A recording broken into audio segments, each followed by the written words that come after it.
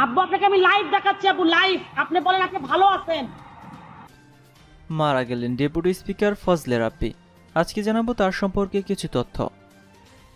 জাতীয় সংসদের deputy speaker Fazle Rabbi Miah আর নেই। দীর্ঘ নয় মাস দুরারোগ্য ক্যান্সারে আক্রান্ত হয়ে নিউ ইয়র্কের মাউন্ট সিনাই হাসপাতালে চিকিৎসাধীন থাকার পর শুক্রবার মারা যান ডেপুটি স্পিকার।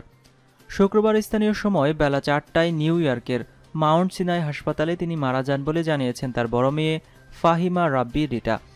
মৃত্যুর সময় হাসপাতালে বড় মেয়ে রিটা ছাড়া উপস্থিত ছিলেন প্রয়াত ডেপুটি স্পিকারের একান্ত সচিব তৌফিকুল ইসলাম। প্রয়াত ফজলে রাব্বি মিয়ার জন্ম গাইবান্ধার সাগাটা উপজেলার বটিয়া গ্রামে উনিশশো সালে। উনিশশো আটান্ন সালে পাকিস্তানি সামরিক শাসক আইয়ুব খান মার্শাল ল জারি করলে তার বিরোধিতায় আন্দোলনে নেমে প্রথম আওয়ামী লীগের রাজনীতিতে জড়িয়ে পড়েন ফজলে রাব্বি মিয়া। তখন তিনি কেবল অষ্টম শ্রেণির ছাত্র। রাজনৈতিক সংগ্রামের ধারাবাহিকতা একাত্তরের মুক্তিযুদ্ধে এগারো নম্বর সেক্টরে যোদ্ধা হিসেবে অংশগ্রহণ করেন ফজলে রাব্বি মিয়া। সবশেষ দুই হাজার আঠেরো সালের একাদশ জাতীয় সংসদ নির্বাচনে গাইবান্ধা পাঁচ আসন থেকে আওয়ামী লীগ প্রার্থী হিসেবে সপ্তমবারের মতো জয়ী হন তিনি।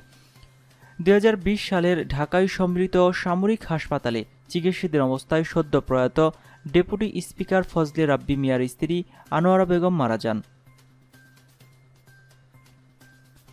আজকের মতো এ পর্যন্তই ছিল। ভিডিওটি সম্পর্কে আপনাদের মতামত অবশ্যই কমেন্ট বক্সে কমেন্ট করে জানাবেন। বিশ্বের সর্বশেষ নিউজ সবার আগে দেখতে আমাদের চ্যানেলটি সাবস্ক্রাইব করে পাশে থাকা বেল আইকনটিতে ক্লিক করে রাখুন। এতক্ষণ সাথে থাকার জন্য ধন্যবাদ সবাইকে।